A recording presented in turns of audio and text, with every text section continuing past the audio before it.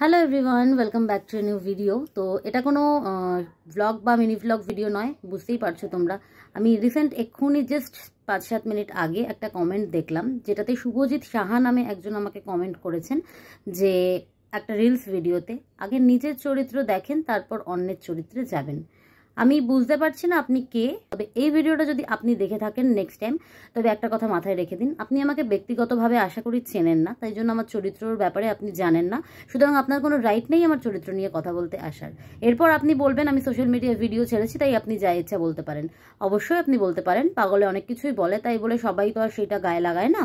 কিন্তু আপনাকে আমি ওয়ার্ন করলাম নেক্সট টাইম আমার কোনো রকমের ভিডিওতে আপনি এরকম ধরনের কমেন্ট করবেন না। আপনার যদি ভালো না লাগে, আপনি ইগনোর করতে পারেন, যদি আমার চ্যানেলটা সাবস্ক্রাইব করা থেকে থাকে, তাহলে সেটা আনসাবস্ক্রাইবও করতে পারেন।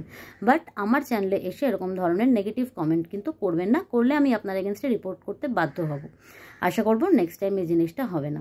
আর আপনি যে রিলসটার মধ্যে কমেন্ট করেছেন, সেই রিলসটা এমন কোনো কিছু অশোভনীয় ছিল না, যেটার ব্যাপারে আপনি কমেন্ট করতে পারেন এরকম ধরনের, বা আমি কারোর ব্যাপারে কোনো কিছু কিন্তু বলিনি। কারোর প্রোফাইলে গিয়ে, কারোর চ্যানেলে গিয়ে আমার অন্তত মনে পড়ে না, আমি তার ক্যারেক্টার নিয়ে কথা বলেছি।